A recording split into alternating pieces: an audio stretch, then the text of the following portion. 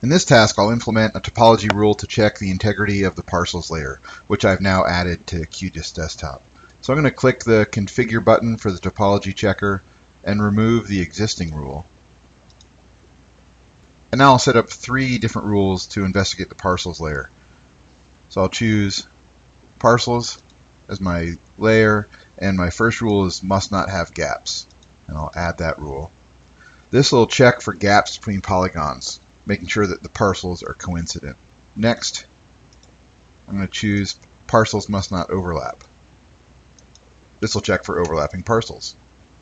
And the final parcel rule will be must not have duplicates. This will check for parcels stacked on top of one another, just like the points in the first task. So I'll click OK, and now I'll simply check Validate All. It takes a little longer. It's going through each of the three rules, and as it finishes, reports the errors in the topology checker panel.